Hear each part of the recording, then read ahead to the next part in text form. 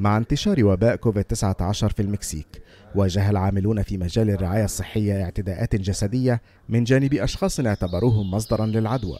لكن في نيسان أبريل قررت منظمتان لركوب الدراجات مساعدتهم وأطلقتا مبادرة على وسائل التواصل الاجتماعي. تدعو الناس إلى التبرع بالدراجات الهوائية غير المستعملة أو قطع غيار لتقديمها للعاملين في مجال الرعاية الصحية. في بداية تفشي هذا الوباء سألنا أنفسنا عما يمكننا القيام به لدعم موظفي الرعاية الصحية الذين يتعرضون للمهاجمة والتمييز خلال تنقلاتهم بسبب مهنتهم. بدأت المكسيك إعادة فتح القطاعات الأساسية بما فيها التعدين والطيران والبناء وتصنيع معدات النقل بعد أكثر من شهرين من الإغلاق. وفي ظل تخفيف إجراءات الإغلاق سمحت مدينة مكسيكو أيضا ببيع الدراجات.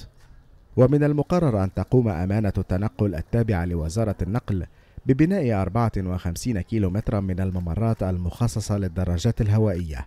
تضاف إلى 88 كيلومترا موجودة أصلا في المكسيك. ويفترض أن تقلل تلك الخطوة من انتشار كوفيد 19